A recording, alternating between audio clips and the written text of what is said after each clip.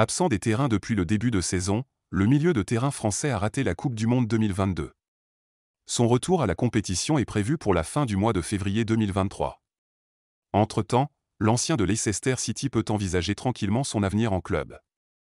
En fin de contrat à Chelsea au terme de l'exercice sportif en cours, N'Golo Kanté n'aurait reçu aucune proposition de prolongation à en croire la presse britannique. Les Blues veulent rajeunir leur effectif et le français ne ferait clairement pas partie de ce nouveau projet.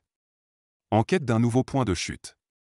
Le joueur de 31 ans ne devrait pas avoir du mal à trouver un club. Excellent sous le maillot des Blues. Il veut désormais relancer sa carrière après plusieurs pépins physiques. Selon les informations de Foot Mercato, N'Golo Kanté serait dans le viseur de la formation saoudienne d'Al Nasr. Les dirigeants du club de Saudi Pro League seraient prêts à mettre le prix pour convaincre l'international tricolore. Il ne serait pas la seule cible des Saoudiens ces derniers seraient aussi en train de préparer l'arrivée de Cristiano Ronaldo en janvier prochain. De son côté, N'Golo. Kanté est en pleine période de réflexion au sujet de son avenir. Il ne serait pas contre un départ en direction de l'Arabie saoudite en fin de saison.